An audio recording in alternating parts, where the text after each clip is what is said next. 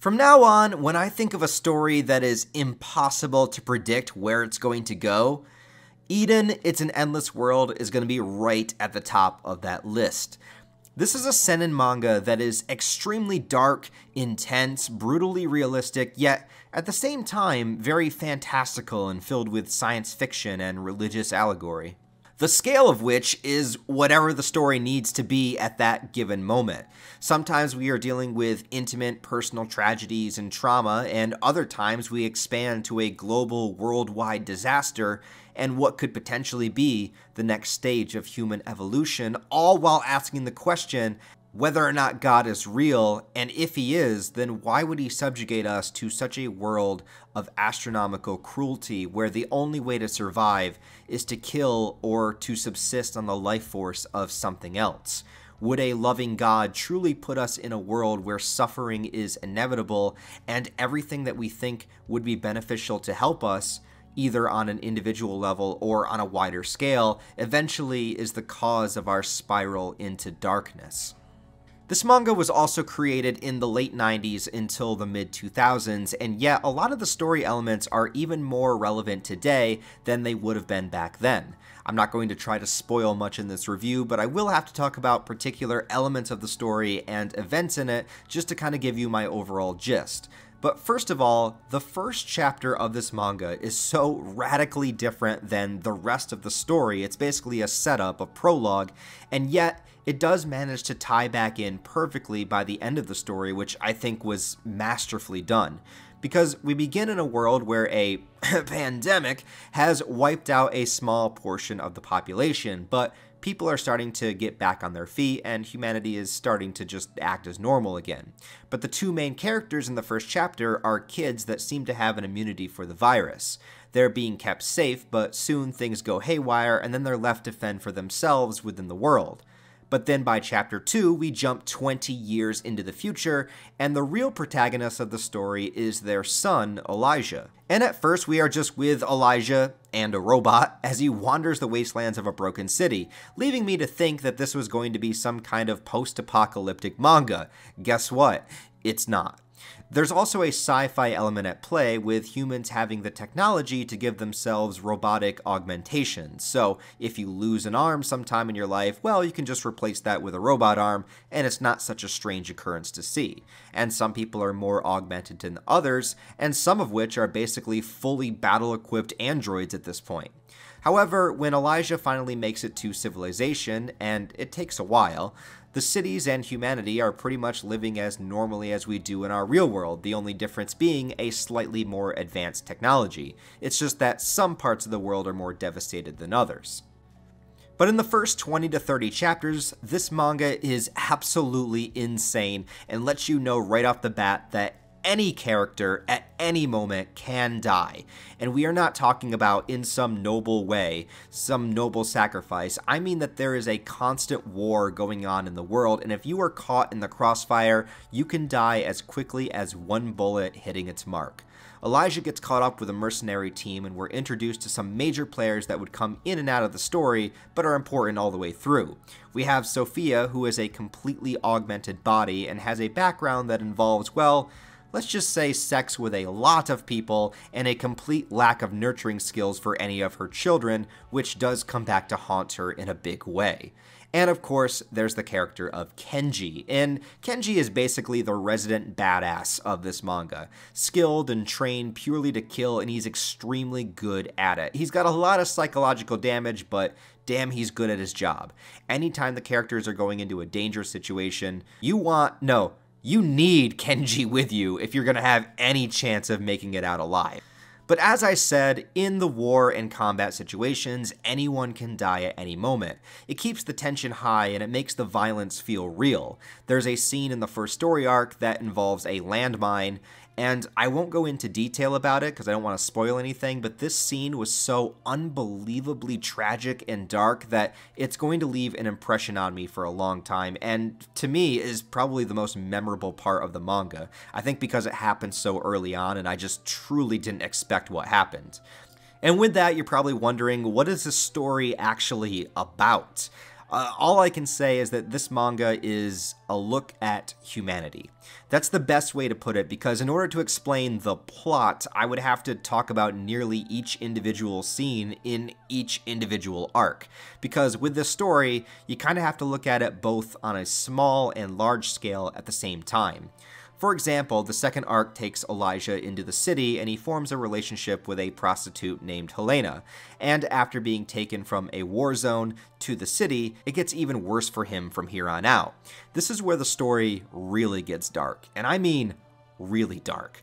There's this whole complicated situation involving a heroin addict that is so deeply dependent that she even sacrificed her own child in order to continue her drug use that even the man that is desperately in love with her eventually gives in, understanding that he can't save her from her desires, and so he just starts being the man to administer the drugs to her because that's what she wants. And within this situation, Elijah wants to help the best that he can. He wants to get her clean. He wants to do the right thing. But in a tragic domino effect of events, as he tries to help her, the situation gets worse and worse and eventually blows up all the way in their faces. And by the end of the arc, Elijah turns into a bit of a monster himself.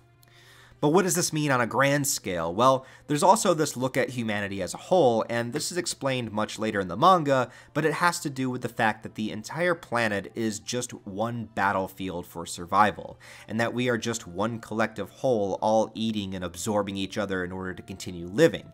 You know, the lion eats the gazelle, lion dies and nourishes the earth, plants grow and then Gazelle eats those plants. It's the circle of life kind of theme. But for humans to want to escape from the brutality of the unfair nature of the universe, we group together in an effort to help one another in order to make things easier. We create a society with one another. It's something done with the original intention of making things better for everyone, just as Elijah went into helping the drug addict with the best intentions. But on a long enough time scale, by doing that, there will inevitably be inequality. Different races will hate one another, the rich will dominate over the poor, those with the best weapons will subjugate those who can't fight back.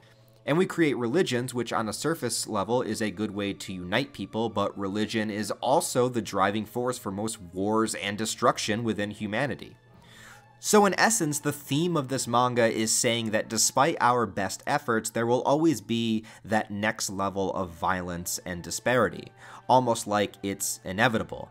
Whether the intentions are pure or evil, we will eventually divide and hate one another. There are plenty of scenes of the world leaders and higher powers just using their status to control their soldiers and people, letting and watching people die in order to propel their own ideals, basically like players killing the pawns on a chessboard, not viewing us as real people, but just obstacles in their way. It shows children being killed in war. It shows actual genocide that really happened in our real world. It shows war, segregation, racism, and everything in between. And it's not afraid to throw it in your face every time that you think things might be going well, just to remind you of the darkness that is out there. And remember that virus that was mentioned in the very first chapter? Well, subtly, in the background of this manga, every now and then it goes back to that concept, and we realize that the virus is far from over. In fact, it continues to evolve throughout the entire story. The virus at first began to crystallize people, but soon those crystallized versions of themselves begin to meld together into the earth, and it starts to expand. Over years, every person that dies of the virus begins to assimilate together until there is a massive citywide crystal fortress of former human beings. And each person, as they die, all of their thoughts, dreams, memories, all of it gets collected into one. Yeah, we are dealing with that collective consciousness idea, a living entity that is able to use anyone that's died and access their memories and their humanity. All of it continued to build until the explosive final chapters that I will not spoil for you here but the incredible writing that allows several other stories to happen while slowly expanding on concepts from chapter 1 and then bringing it all full circle by the end was nothing short of impressive. There are so many times that I thought the author just had several different ideas that he wanted to do, and so that's why the arcs of this manga are so radically different. But by reading the end and seeing how he pulled it all back together, it, it, all makes sense to me now, and it's honestly astounding how he can make such completely different events all kind of flow together within the same story. I've heard next to nobody talk about this manga, and it's a damn shame. I even think this would work extremely well as a live action series if they ever decided to adapt it, and of course an anime as well. But truly keep in mind that this is a dark seinen manga. There is a ton of violence, gore, drugs, sex, some sex scenes that only last 9 seconds. It's okay, fellas, it happens to all of us. And others that are both intimate and tragic in their own way. Its combat scenes run the gamut from firefights to hand to hand combat, and sometimes fighting purely machine enemies that make for some truly terrifying ways of attacking people and remind me of the T 1000 from Terminator 2. And if I want to get less serious for a minute, there is a ton of waifu potentials in this manga, Lethia being a top contender for me. I know she's basically all machine, but you know what? I would find a way. Elijah himself works as a great protagonist, but it is very sad to see the way that he delves deeper and deeper into darker tendencies and begins doing things that he vowed never to do after witnessing the deaths of some people that were very close to him. I would say similar to Berserk, the theme of struggling against the hardships of the world are heavily at play here. When it comes to the assimilation, there is definitely a sense that everyone that ultimately succumbs to it just kind of gave up. There's scenes where characters willingly give themselves over to it as if they can't face the harshness of life any longer, and you kind of understand it when they do. And it makes you wonder yourself if all of this is worth struggling through. Maybe there would be peace within that submission but also many characters do turn the other way and continue on their path where they will eventually face the danger and pain in any way that they can.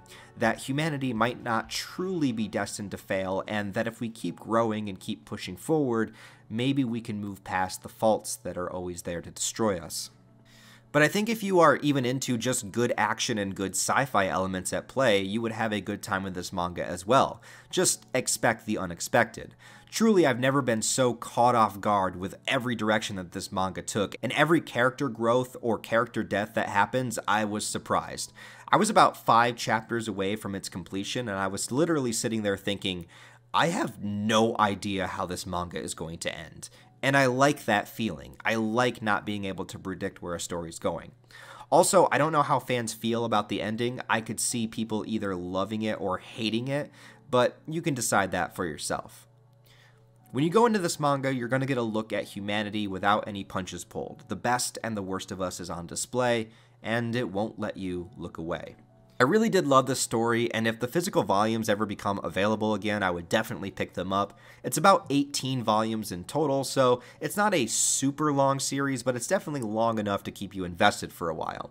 If you guys have read Eden, It's an Endless World, please let me know what you think about it in the comments below, and if you haven't, as long as you can handle the darker themes, I truly think you should definitely check this one out. This is one of those manga that after reading it, I now wish many more people would have so that I could talk about it with someone. So, I don't know, maybe this video will help get the word out about it. I think that the story is more relevant now than it ever was, especially considering our current world situation. Anyways, if you like this review, please give the video a like and a comment to help it in the algorithm. Also, if you haven't yet, consider subscribing to the channel because I do put out consistent anime, manga, movie, and other random ass content on your YouTube feed daily. Also, help me get to that precious 100,000 subscriber goal. Anyways, guys, thank you all for watching this video. I do appreciate it, and I'll talk to you next time.